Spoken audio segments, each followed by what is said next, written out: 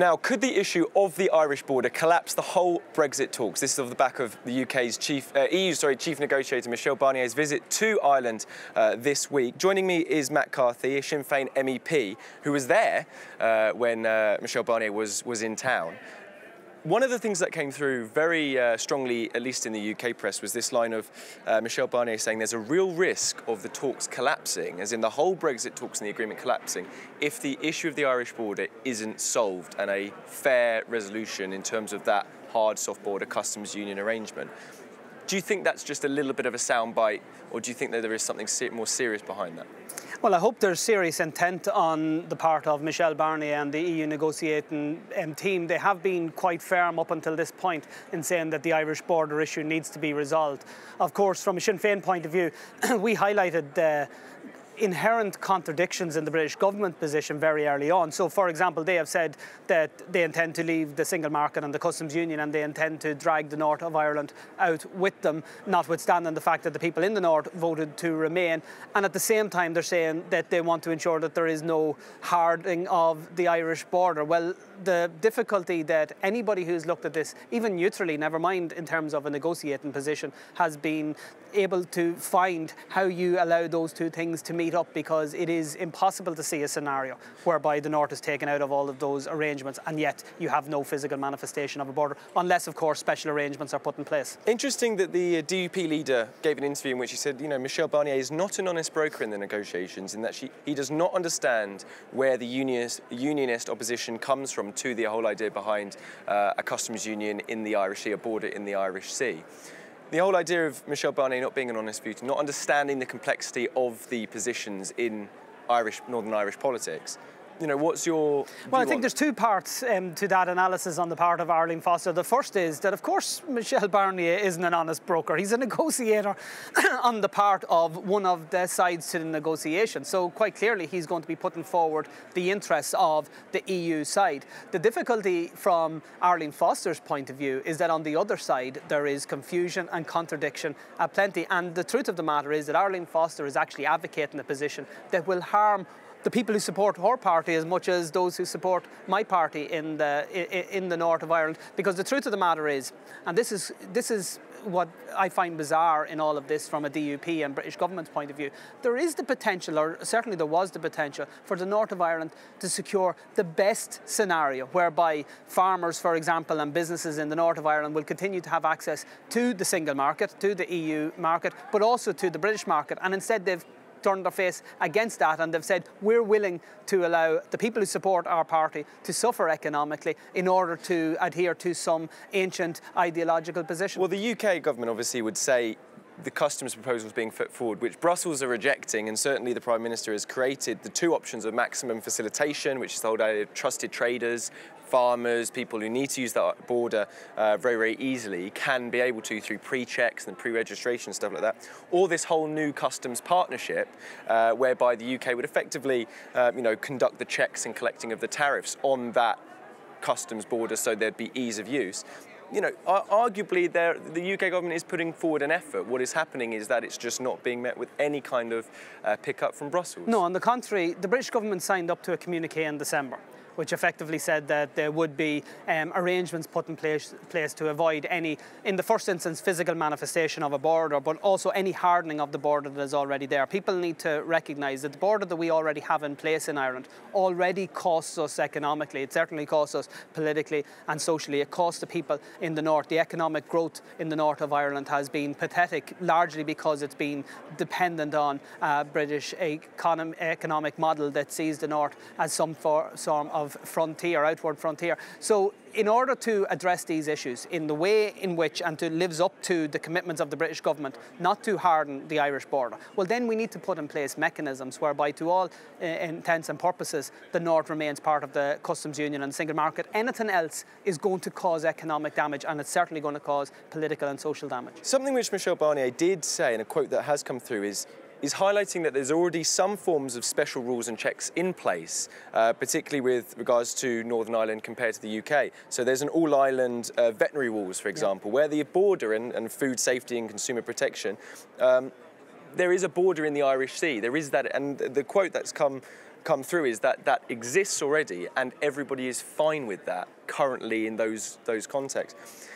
Is it fair to assume then that that, that kind of rhetoric towards well everyone's fine with these checks in the Irish border already, this this effectively these borders on rules and regulations already, that the EU are going to be increasingly pushing and lobbying towards that Irish border in the sea solution? Yeah, because um, the, well, from a Sinn Féin point of view, what we want to see happen is all of Ireland continuing to have access to the British market. That's really important for sectors north and south.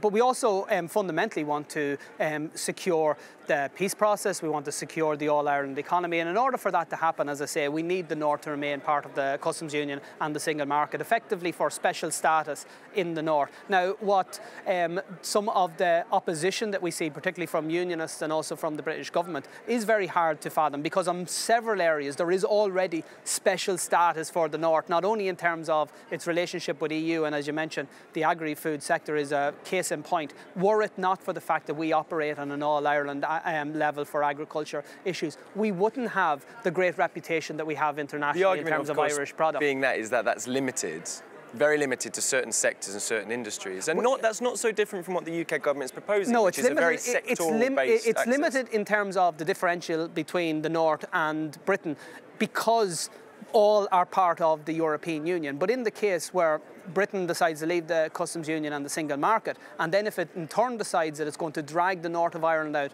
against the wishes of the vast majority of people who live there, remember that the DUP are simply one party, albeit the largest party. They don't represent a majority of people who have quite clearly said that they want a special status. They voted to remain part of the European Union. And what we are saying, and what up until this point the European Union negotiating position has been, that that vote needs to be reflected in the final outcome.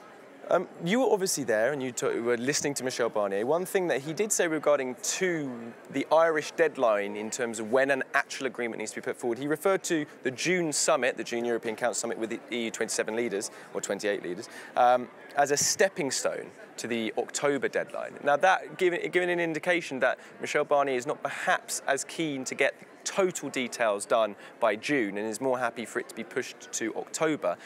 What's your reading on that? Is that something you'd agree with? It's probably likely, or is that perhaps preferable, or is that concern you? No, we need to have absolute clarity in terms of the British government's position with regard to an agreement that they already signed up to in December by the June um, negotiating period, because anything outside of that will um, add to the um, to the confusion, will add to the contradiction, and will add to the uncertainty, which is already having an impact in terms of the economic development of particularly the border region, but arguably the entire island of Ireland. Because let's put it this way: I'm somebody who has lots of criticisms of the way in which the EU operates. But to fathom a scenario whereby one part of what, remember, is a very small country on the edge of Europe that um, um, has about six and a half million people living on it, where one part of that country operates within the EU and another part is dragged out against the democratically expressed wishes of the people who live there, is um, to me um, a recipe for disaster, economically, politically, and socially. So we need to have clarity